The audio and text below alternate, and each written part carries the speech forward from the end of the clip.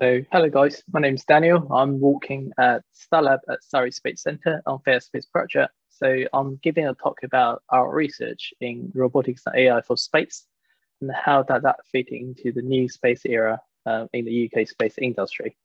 So in the recent years, loads of evidence or studies already shown um, the next three to five years or 10 years will be an exploding market for in-orbit service and manufacturing.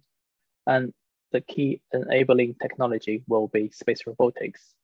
So in-orbit servicing is actually cover a lot of different topics. For example, debris removal, um, transportation, assembly or refueling, and they all need space robotics technology in different aspects.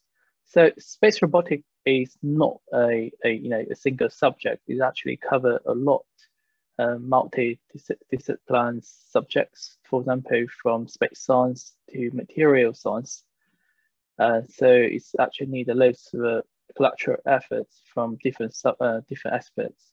So in the next three or 10 years, um, for our research, we can contribute to research and development, also high level TRL demo, as well as contribute to new space mission designs.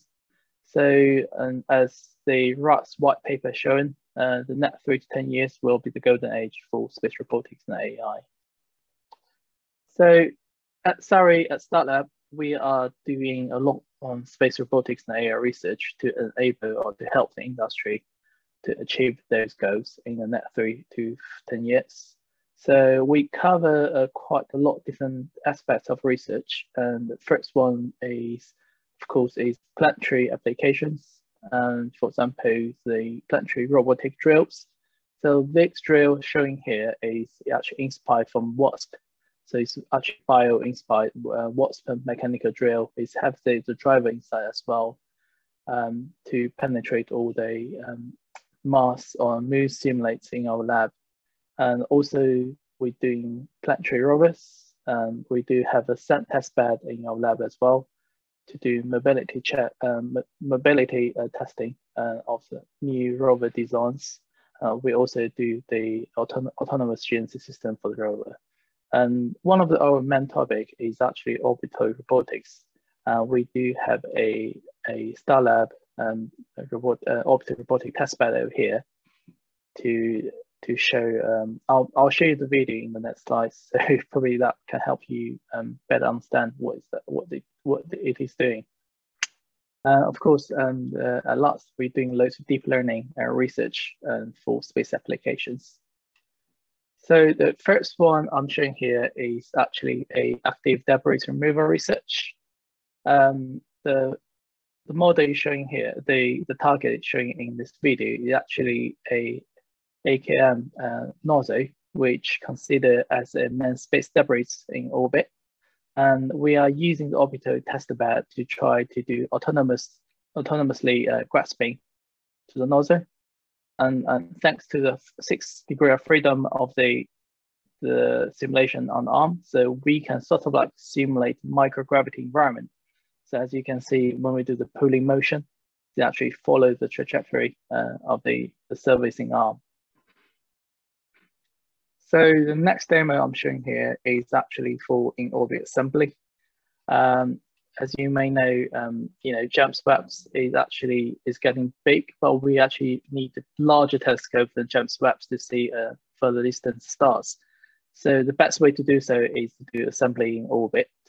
And uh, we are using the, the orbital robotic testbed to do uh, AI-based, uh, deep learning-based uh, autonomy, um, autonomously assembly. And we only use 2D camera to read the post information from the, the target, which is a supporting structure from the telescope segment.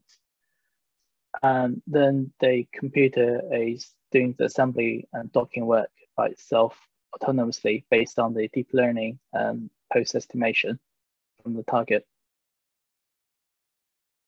As you can see now, it's achieving the final docking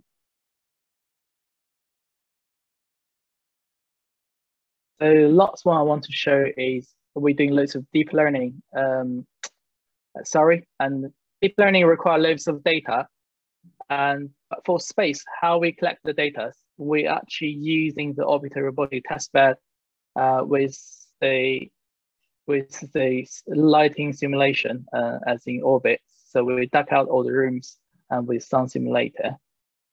So we just let the robotic arms carry some carry out some um, predefined motion, trying to generate the data set from different angles and, and from different rotation uh, relative to the target.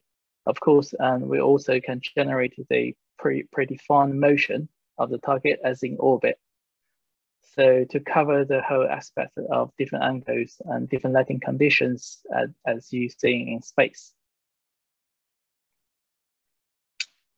Um, it's, it's, actually pretty fun to watch these and the data set can generate for, for example, for one, one hour, we can generate about like 20,000 data sets just from this uh, autonomous motion.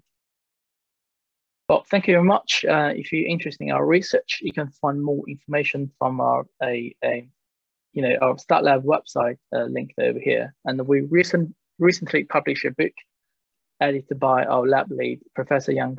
Um, it's actually cover all the different aspects of the space robotics and AI uh, system and the recent advances as well as applications. So thank you very much.